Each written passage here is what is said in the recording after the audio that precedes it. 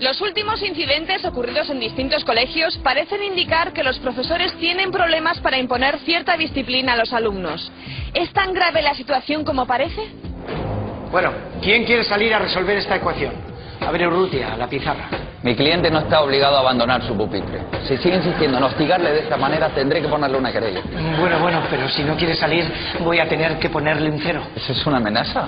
Le advierto que esta conversación está siendo grabada. No, yo no amenazo a nadie. Solo le recuerdo las obligaciones que debe cumplir todo alumno. O sea que usted pretende obligar a sus alumnos a estudiar. Ya. Muy bien, nos veremos en los tribunales. Vámonos.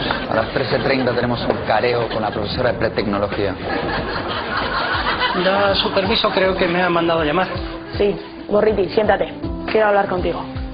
Acabo de leer el examen que me has corregido y no estoy nada contento.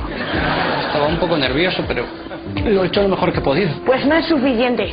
Creo que deberías esforzarte más. Lo haré. La próxima vez lograré mejor nota. Un 10 para usted solo. Aquí está. Es usted un enfermo. ¿Cómo se atreve a comportarse de esa manera con mi hijo? ¿Qué- qué- creo que no entiendo. Su hijo me ha agredido. Tendrá valor. Ha sido usted quien ha incrustado los dientes en su puño. Tendría que ver cómo tiene los muñecos la criatura. Qué manera de golpear con sus testículos la rodilla de nuestro hijo. Debería darle vergüenza. Menos mal que su novia lo grabó todo con el móvil.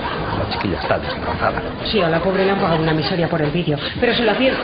Como vuelva a rotar con su coche las llaves de mi chiquitín, le denuncio. La situación parece complicada, pero dígame, con todos estos problemas sigue habiendo buenos alumnos en los centros escolares. Naturalmente. Precisamente estaba corrigiendo la redacción de uno de nuestros mejores estudiantes. Mire, aquí la tiene. Pero, pero esto es una amenaza. Sí. Pero sin un solo fallo de ortografía. Una joya este chico. Me queda acojonado, pero es de trabajador.